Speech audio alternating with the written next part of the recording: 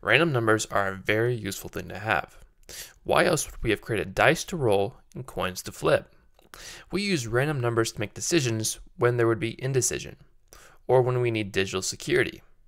However, if you have studied random numbers, you may come to the conclusion that truly random numbers are very difficult to produce. In theory, you could calculate which way a group of dice will land based on a certain throw.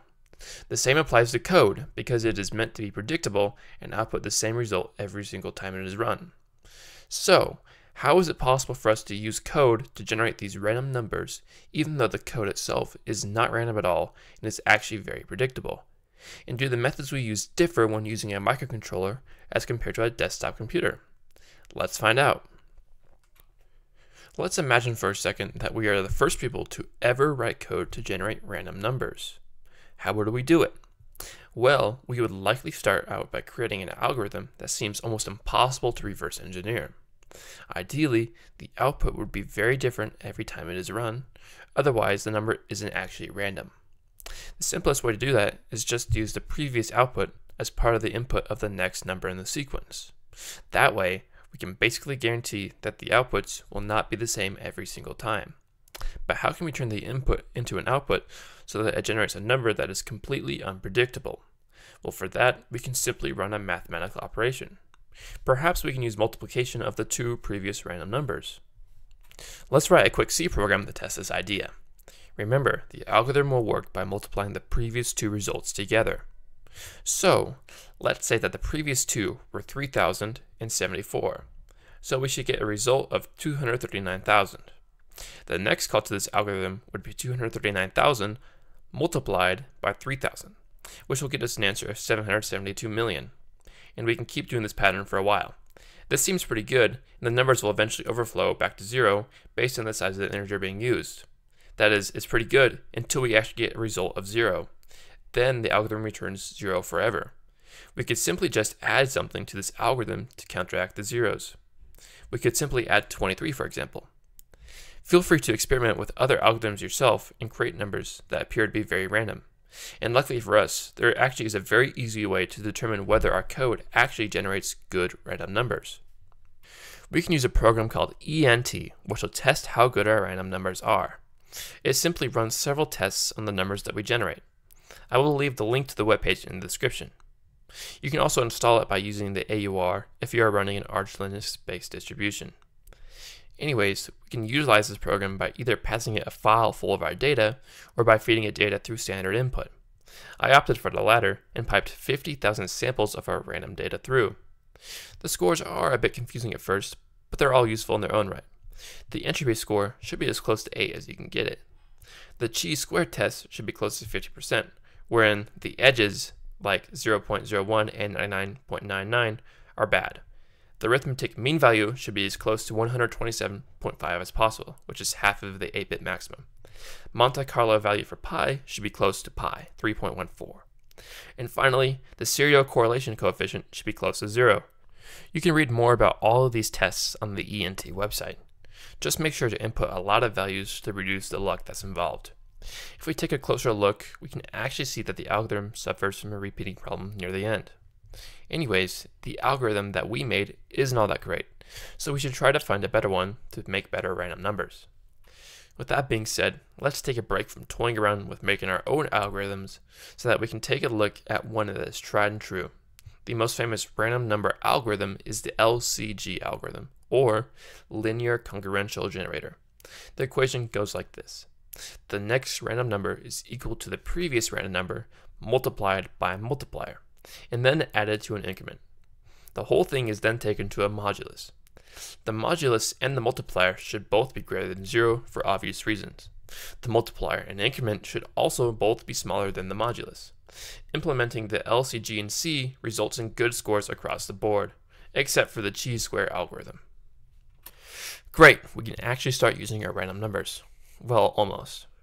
Everything that I've shown you so far in this video is not actually random we've been dealing with what we call pseudo-random numbers. If you take a closer look, you'll realize that running our algorithms multiple times always results in the same numbers in the same order. Not so random after all. This is caused by what we call a seed. Normally, the next number in the sequence is generated with some previous input. The problem arises on the very first number though. Since there is not a previous value to fall back on, we need to come up with one ourselves. That means if someone knows the first value, the seed, then they know all future values. Pseudo-random numbers still have a use though. For non-critical applications, such as video games, the predictable nature of the generator doesn't matter, because nothing is at stake, and someone reversing the algorithm wouldn't be a serious problem. If you've ever tried a game like Minecraft, for example, you'd know that the seed determines which world the computer will generate. And inputting the same seed a second time results in the same exact world. Pseudo-random numbers are also very fast to generate. But what if you want a truly random number that malicious users should not know? For that, we will need a source of what we can call entropy, something so unpredictable that it is practically random.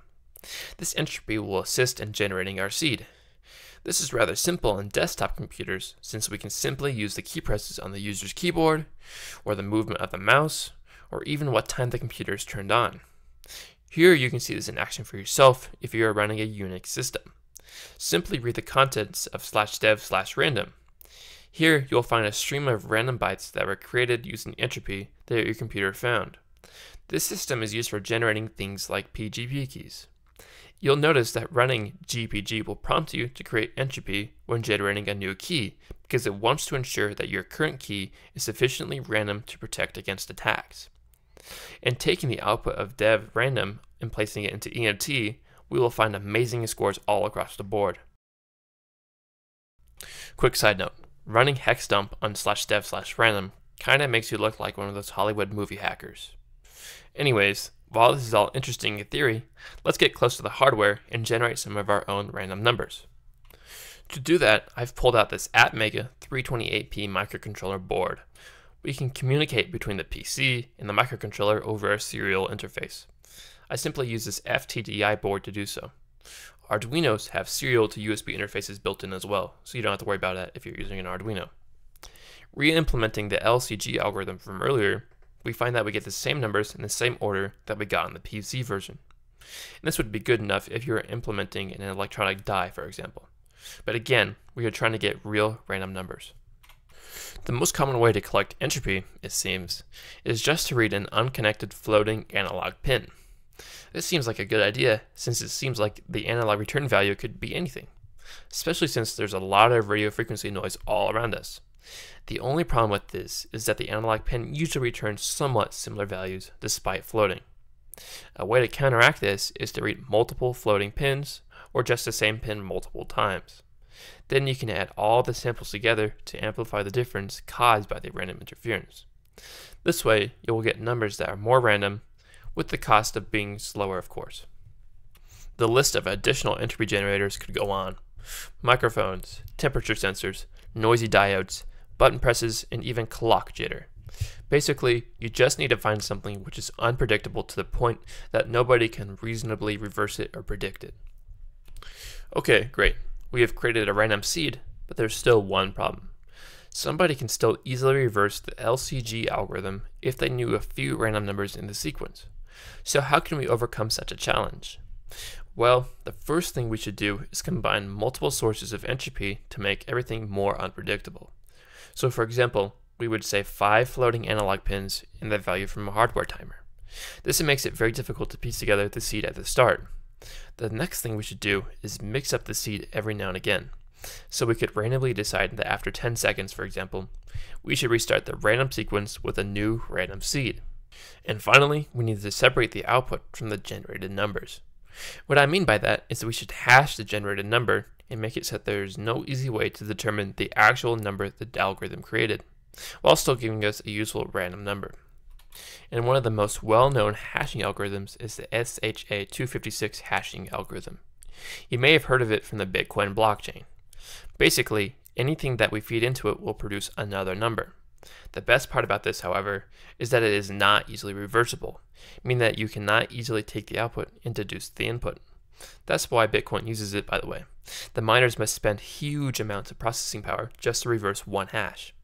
This is great because by the time that an attacker cracks the algorithm and finds our seed, it doesn't matter because we have already collected new entropy and switched over to a new seed. Anyways, to implement it, I simply use this AVR crypto library from the user Cantora on GitHub. I will post a link to it in the description so that you can use it for yourself. Also, make sure to salt the hash as well, so it is harder to brute force. I salted it using the current value of the hardware timer.